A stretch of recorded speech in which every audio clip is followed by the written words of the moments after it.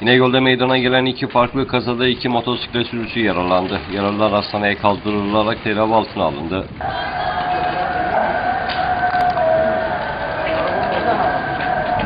Edinilen bilgilere göre kaza İnegöl Alanyurt yolu diş hastanesi karşısında meydana geldi.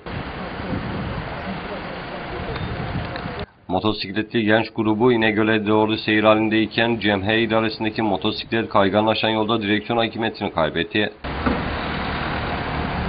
Kontrolden çıkan motosiklet yol ortasında bulunan tabelaya çarparak devrildi. Kazada genç sürücü yaralandı. Yaralı kazayına gelen sağlık ekiplerinin ilk müdahalesinin ardından hastaneye kaldırıldı. İkinci kaza ise Kemalpaşa Mahallesi Halya'nın sokak üzerinde meydana geldi.